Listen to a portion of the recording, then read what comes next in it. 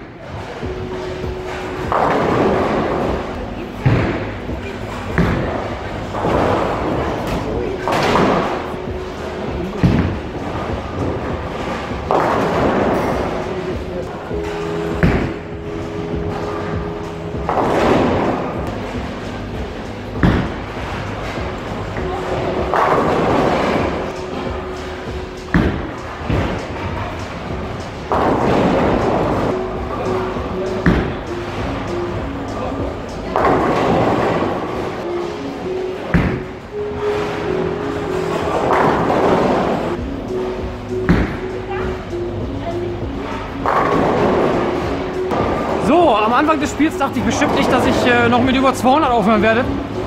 Aber habe dann noch einen Fünfling geworfen.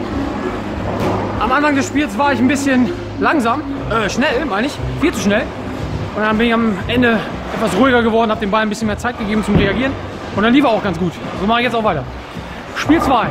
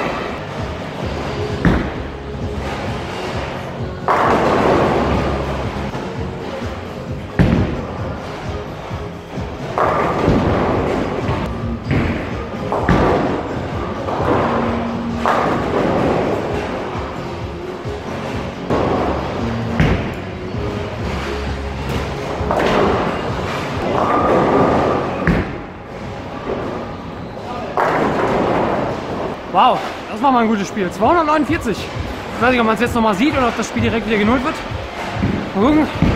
Ja, es wird sofort wieder genullt. 249 waren das. Also hier werde ich auf jeden Fall äh, noch öfter vorbeikommen, glaube ich. ja, ich denke immer noch zwei Spiele für euch. Macht gerade Spaß. Und ja, haben wir vier Spiele, dann reicht das auch.